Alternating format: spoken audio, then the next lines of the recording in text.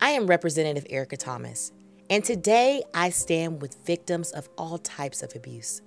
They are here to make sure that they are not silenced and to let their voice be heard because they are your voice.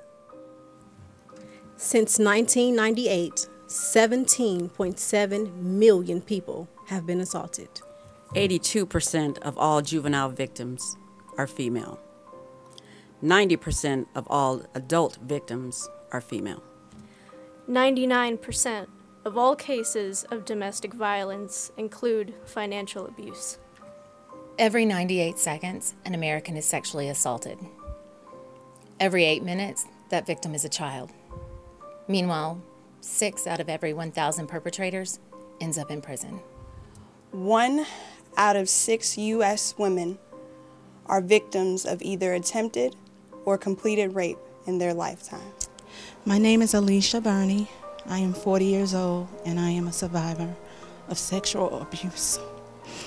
From the ages of 3 to 15, my step grandfather molested me.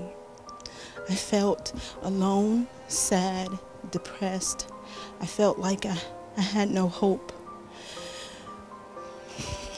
It's been a struggle for me, but I'm going to be okay.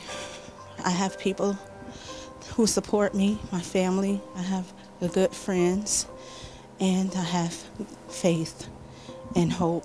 I, I can't give up. I won't give up. I will always continue to be a voice for others.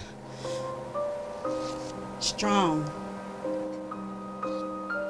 Powerful. Brave.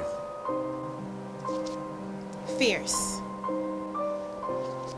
Mighty. Unstoppable. Fearless. Your voice. I am your voice.